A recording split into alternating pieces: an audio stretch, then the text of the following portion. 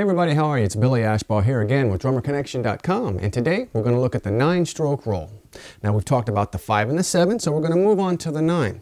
Now again, as always when we get into these rolls, doing these doubles, I like to share with you a technique that I've used for years to help me, again, think more musical when I'm behind the drum set.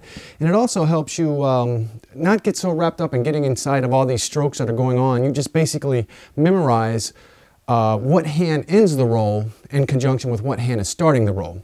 I'll show you what I mean. I'm talking about thinking 16th notes when you do this. So if you're playing at this tempo, 16th notes, 3 E and a 4 E and a, you want to get used to counting this and just letting the hands go doing the doubles.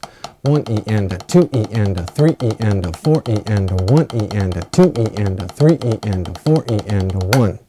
When you can do this, you can let those 30 second notes, technically what those doubles are, just kind of go by and be thinking 16th notes. So when we start a five stroke roll with the right hand, it ends on the end of that very first beat, meaning it starts and it ends with the right.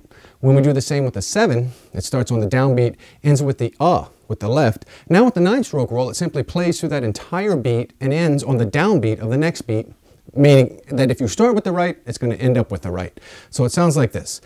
3E and a 4E and a 1E and a 2E and a 3E and a 4E and a 1E.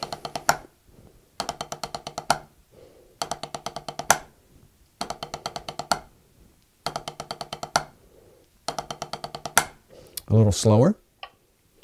2, 3E and a 4E and a.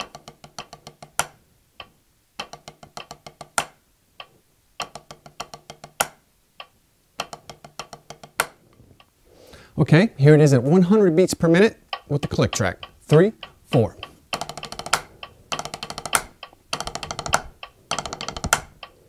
So I'm thinking 1E and a 2E and a 3E and a 4E and a 1E and a 2E and a 3E and a 4E and a 1.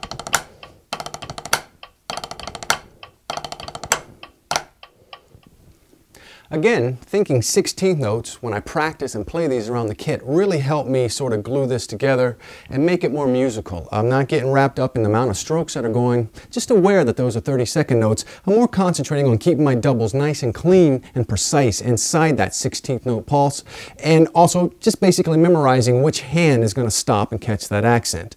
Our very own Danilo posted a lesson a while back called 16th note roll exercise.